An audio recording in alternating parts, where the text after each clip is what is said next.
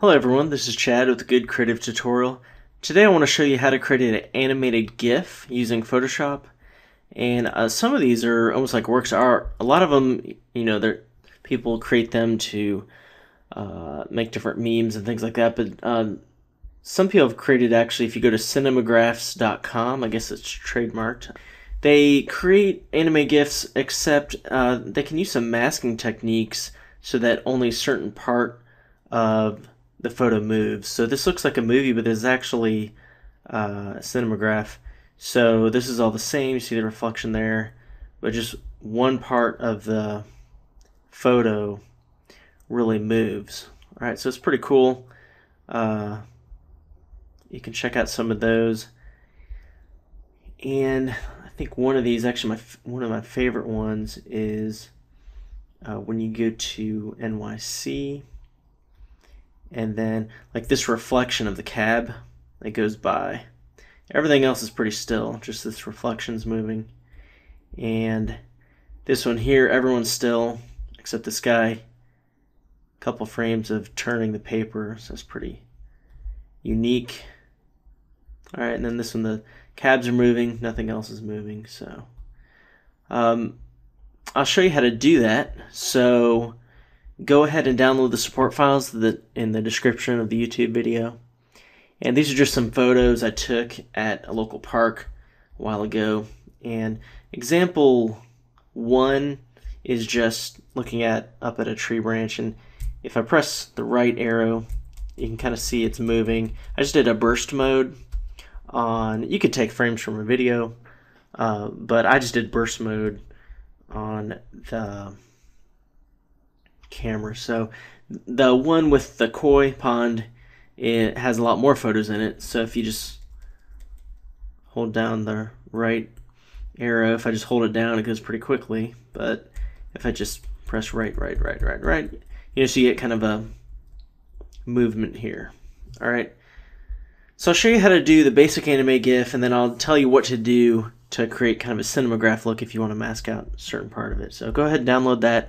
Right click over the zipped folder once you have it downloaded and um, extract it all and go ahead and open up Photoshop. All right. So it, what we want to do is open up a bunch of these and then make them all on their own layer. Now that would be really time consuming if we just, for example, if I opened up and if you just have a couple photos, it's probably not that big of a deal.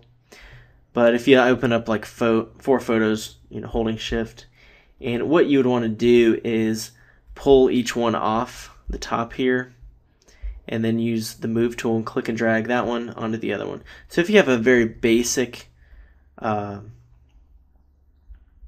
anime GIF, you want to, you can do that. Now you do want to make it sure it locks to the edges. Make sure you go to View and then Snap to document bounds is selected and also snap there. Because then you want it perfectly over the top there. All right so you'd repeat that process. Just pull the next one off and then move to use the move tool click and drag it over. It fit perfectly. And you would keep doing that. I'll just stop after this one because I want to show you the better way which is more automated all right so I'll just close these other four up for now. So what you'll do, you'll have some layers here, and we're going to use the animation frame, uh, animation pan panel. But here's a better way. All right, instead of that manual way, go ahead and just go to File, Scripts, and then load files into Stack. All right, then go to Browse, and we want to select all these photos or however many you want all right and for the purpose of this tutorial I'm just gonna do I'm gonna do like eight of them all right because that might take a little bit long so however many you want and I'm gonna click OK and so they're all listed here. Uh, go ahead and click OK. And it's just opening it for me, stacking it on top. And this takes a little bit longer. I'll just skip ahead in the tutorial until after this is done. Okay. So I'll go to, that didn't take too long. Um, I'll go ahead and go to the layers panel here. If you don't have that, go to window and layers. And notice 80, 81, 82, 83, 84. You do need want to make sure they're in that order. All right. And if I hit the eye icon of each layer succeeding it, you get that movement. All right. So next thing is to go to window, then animation. And if by default you see like all this timeline, almost like you're in a video editing software like After Effects or anything with this 15F, uh, one minute mark F, and all those layers, um, go ahead and go to the bottom right hand corner and just click on that. And then that will turn it into just this animation frame. That's what we want to see. All right, just animation frames. So for this first one, we want the top one showing, and that's correct. We don't want a 10 second. If you look at the bottom here, that would mean that that frame is there for 10 seconds. Let's just do maybe 0.2 seconds. Then create a new animation frame, just on that button there. Then click the visibility layer, or I'm sorry, the visibility icon, the little eye icon, so then we can click on the first one, click on the second one, and see the difference. All right.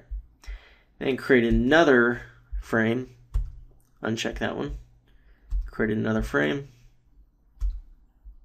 All right, so we got this one, that one, that one, that one. All right, so see how that's working. So create another frame, uncheck that. Create another frame, uncheck that create another frame. All right.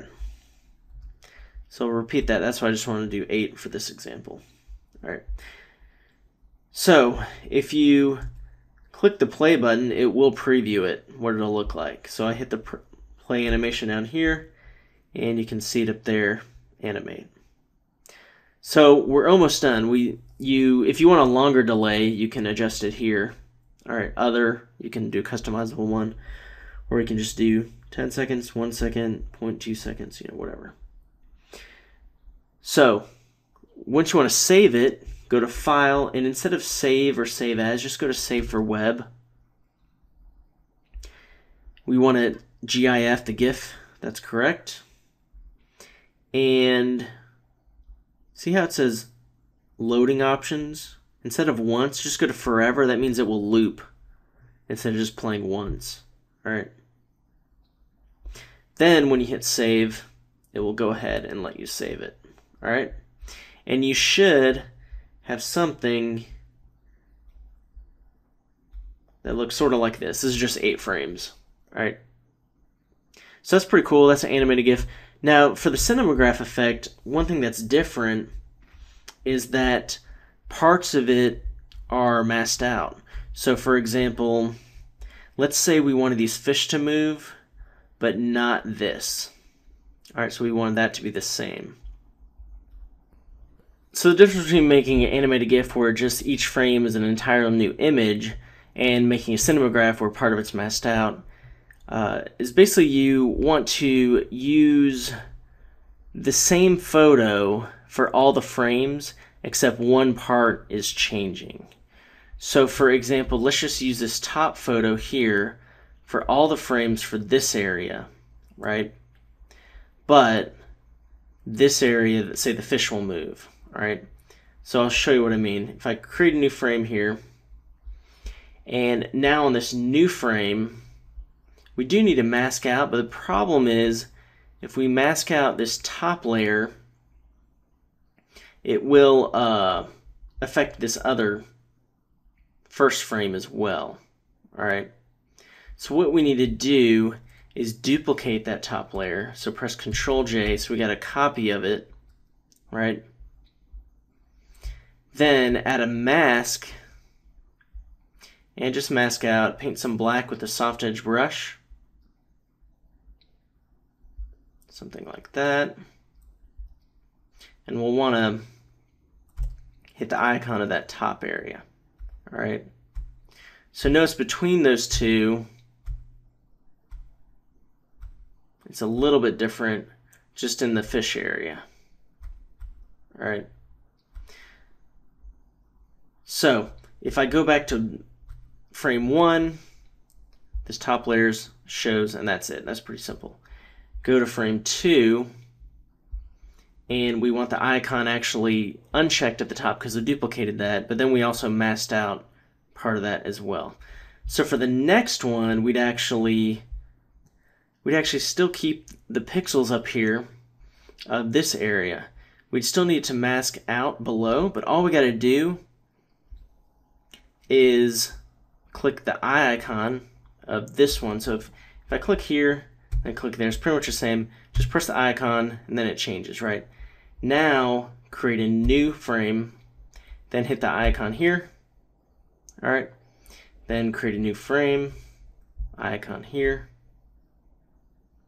Create a new frame, icon here.